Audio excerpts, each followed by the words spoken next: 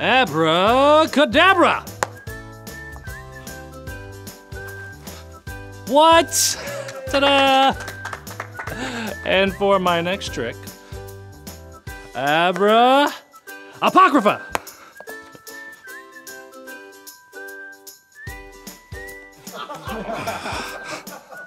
Wait, what? Apoc That's what I said, isn't it? I said Abra Apocrypha, not Abracadabra.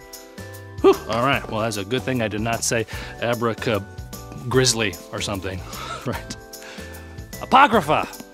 The word's origin is from the medieval Latin adjective apocryphus, meaning secret or non canonical, and from the Greek verb apokryptein, to hide away. Actually, just thought of something. Abracadonut!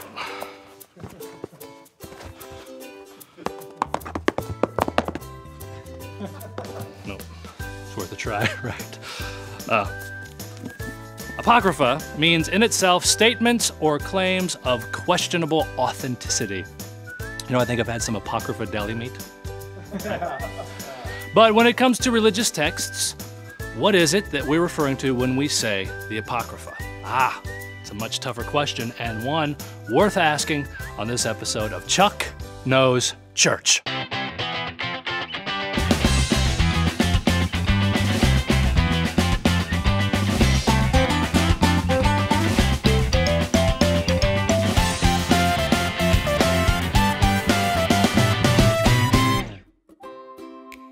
In Christian religious contexts, Apocrypha refers to a series of Jewish writings that some churches included as part of Scripture, but with a lesser status than the rest. Now, before Christianity, the Jewish translation into Greek of the Holy Scriptures, known as the Septuagint, included these writings. Septuagint means 70, or Septuaginta in Latin.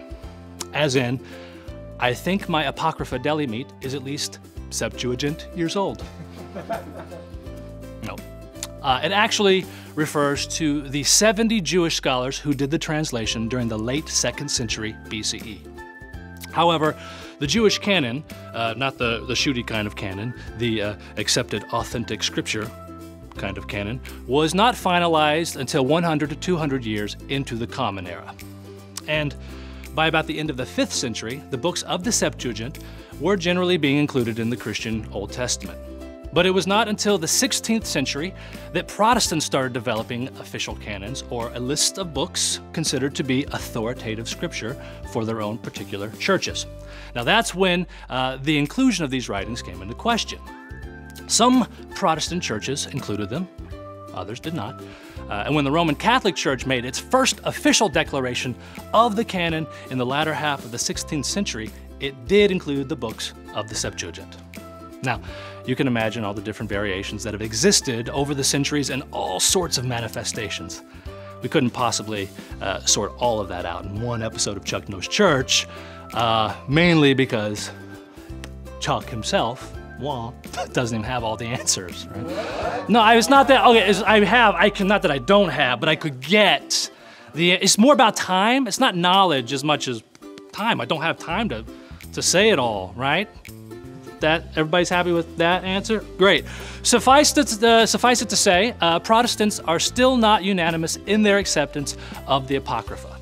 Go figure.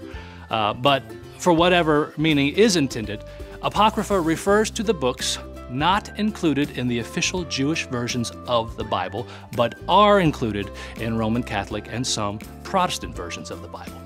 There you go. If you'd like to learn more, be sure to ask your pastor. Tell them Chuck sent you.